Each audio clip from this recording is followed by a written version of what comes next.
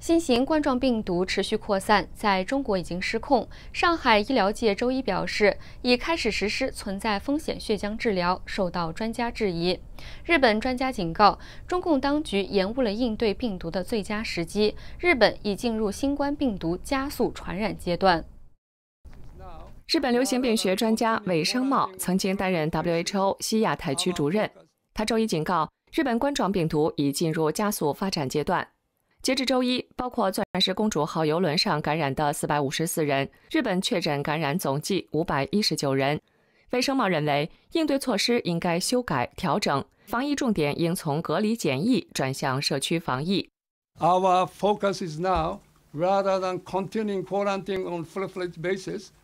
Our focus is now on community prevention control so that we can reduce the mortality rate. And also lower the speed of the expansion. 卫生茂认为，武汉当局延误了对病毒反应的最佳时机。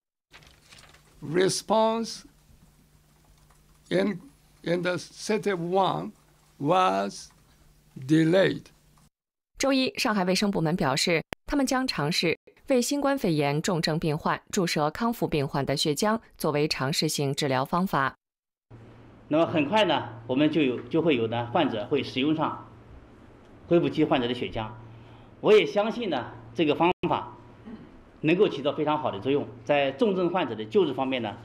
之前，武汉金银潭医院声称，他们近期使用这种方法，患者症状明显好转。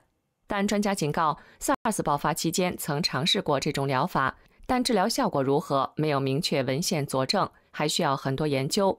宣称这种疗法具有疗效，研制过早，而且还有可能将病毒一同输入。